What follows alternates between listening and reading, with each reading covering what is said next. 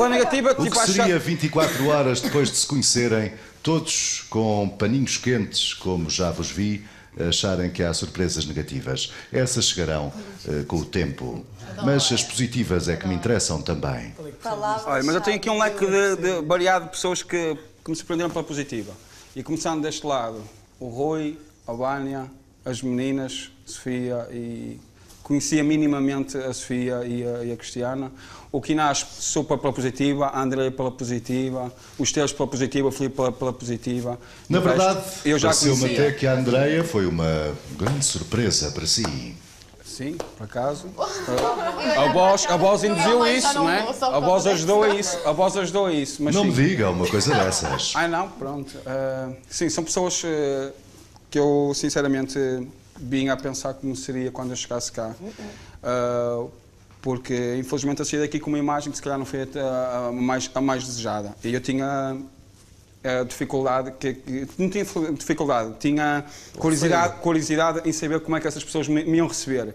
Ah, felizmente receberam bem, Ah, estou perto do meu registro, são pessoas que me surpreenderam super pela, sempre pela positiva, ah, são super sociáveis e acho que estamos aqui um grupo forte e unido e acho que nos vamos divertir acima de tudo. Mas anda aqui 20 dias. E como correu a sua noite? Ah, tá, você é um mau feitio, é? Olha, correu bem, eu estava metade do corpo dentro da cama, metade fora. Por Ah, imposição, claro, da Andreia.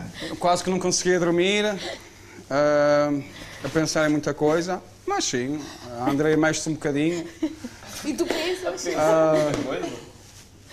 Não, a pensar muito, a pensar no jogo, a pensar nas pistas.